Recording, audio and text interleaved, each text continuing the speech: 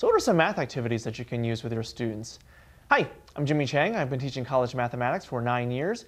And with math activities, you have to decide on what the objective is. Do you want to be sure that they're doing their homework? You want to see them understand and appreciate how math is used? It all depends on what the situation happens to be. Or it could be a little bit of both.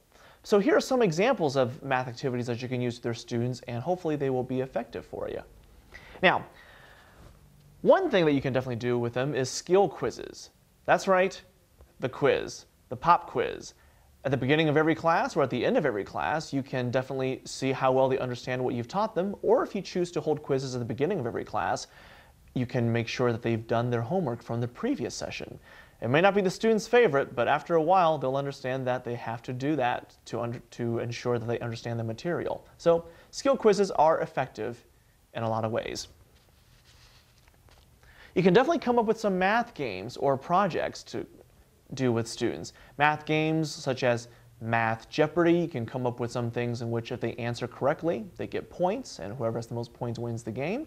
Or you can have them do projects in which they can relate as to how mathematics are used, like building a financial plan, investing in the stock market, figuring out what your car payment is, what your mortgage payment is.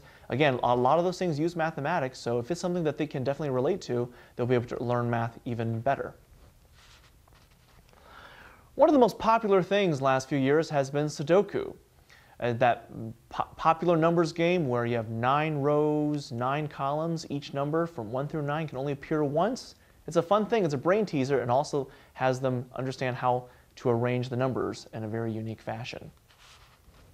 And last but not least, if you want to entertain with mathematics but also have them understand a little bit as to how mathematics is used, you can definitely show them movies with mathematics. Movies such as Stand and Deliver and A Beautiful Mind are just two of the great examples. It's entertaining a couple of hours, but also it gets them to appreciate the field a little more. So, I'm Jimmy Chang and there are some math activities for you to use.